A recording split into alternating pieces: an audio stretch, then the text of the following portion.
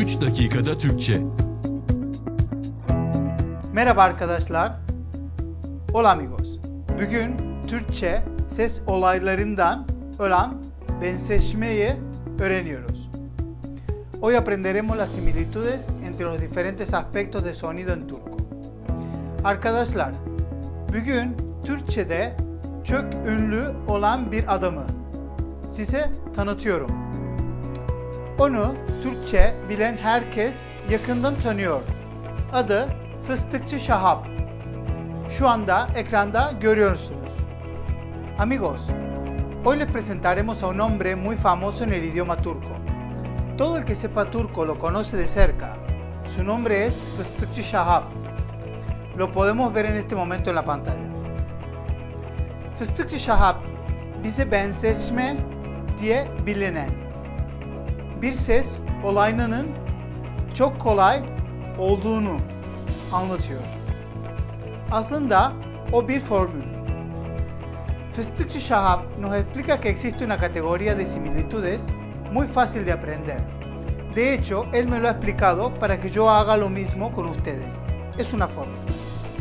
Türkçe'de sert ünsüzle yani fıstıkçı şahap taki sessiz harfleri olan F, S, T, K, Ç, Ş, H, P'den biriyle biten bir kelimeden sonra C, D, G sesleriyle başlayan bir ek gelirsen ek değişime uğrar ve ilk harfi Ç, T, K ya döner.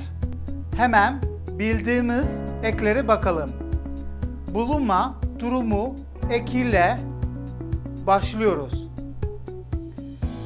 Ağaç da bakın ağaç da değil ağaç ta ya da kitaplık ta bakın kitaplık da değil kitaplıkta sokaktan sokaktan değil sokaktan ya da sözlükten bakın sözlükten değil sözlükten örneklere devam edelim.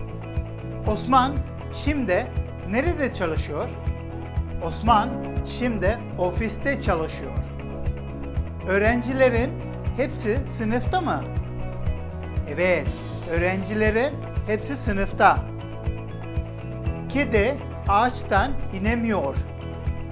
Mutfaktan sesler geliyor. Kitapta o bölümü okuyorum.